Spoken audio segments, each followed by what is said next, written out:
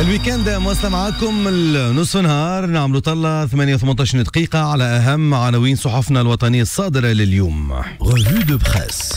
باش نبداو بطبيعة الحال بأهم الخبر الأبرز اللي هو اليوم. آه، الدولة التونسية اللي تفتح الأجواء البرية والبحرية. والجوية بطبيعة الحال. عفوا فتح الحدود.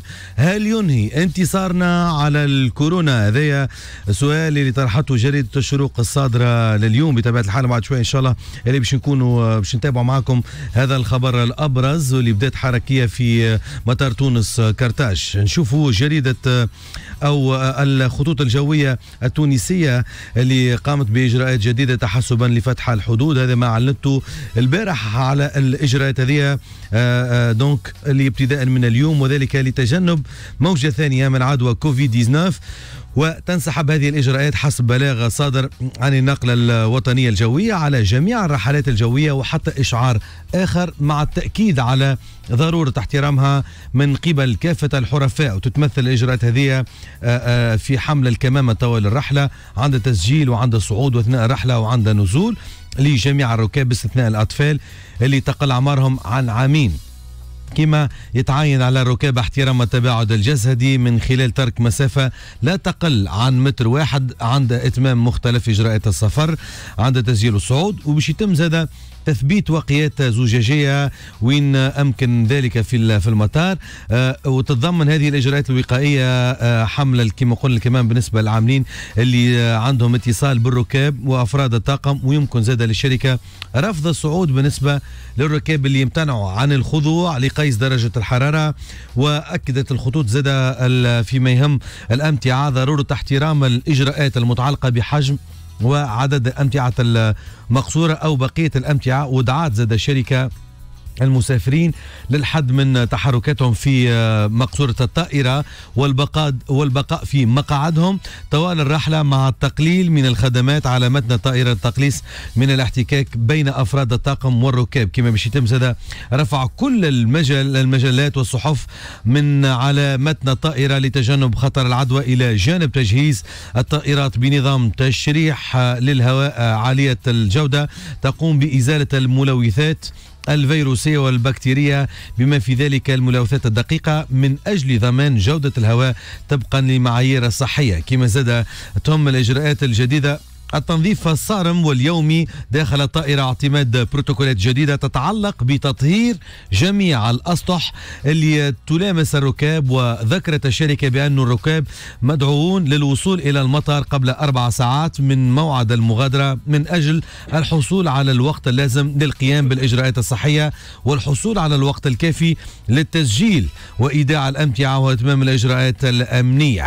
وأوضحت زاد أنه لتسهيل اجراءات تسجيل المغادرة باش يتم فتح مكاتب التسجيل قبل الرحلة بأربع ساعات وإغلاقها قبل المغادرة بساعة واحدة. وقالت الخطوط التونسية انه بوابة الصعود إلى الطائرة تغلق قبل 20 دقيقة من موعد مغادرة الرحلة وفي جميع المطارات التونسية. هذا البلاغ للخطوط التونسية. نتمناه السلامة للطاقم اللي يخدم فيها. نتمناه السلامة إلى كل المسافرين. تخوفات كبيرة. الحقيقة وقت اللي نخرجوا للشارع التونسي من آه، فتح الحدود وخاصة وأنه قاعدين وأنه آه، فما تسجيل إصابات وفدح إن شاء الله ربي يستر بلادنا. خلينا نكملوا نتعداو إلى الأمور السياسية المطروحة في بلادنا. نمشيو إلى جريدة الصحافة اللي هبطت في لايون رئيس الحكومة من البرلمان من من أدب السياسة ومفرداتها. انتصرنا على كورونا وهذه أبرز ملامح خطة الإنقاذ. حكى على زاد حكى لايون على الوضوح وإعادة الثقة اللي بين قوسين يبطى شوية. ما بقي من جلسة الحوار مع رئيس الحكومة تقريبا هذه أبرز كلمة سمعناها وشفناها في يبطة شوية وشفنا أنه غابت المفاجآت الحقيقة في باردو ولم يخيب الحضور آه، تحت قبة البرلمان حكومة ونوايا أو حكومة ونوابا ضد آه، ظن وانتظارات التوانسة وحتى غير التونسيين بخصوص ما قبل آه، ما قيل أنها جلسة حوار أو مساءلة حول المئة يوم الأولى لسكان القصبة. والجديد اللافت للنظر ربما هو انخراط رئيس الحكومة نفسه في لعبة التدافع وإهدار الوقت والنهل.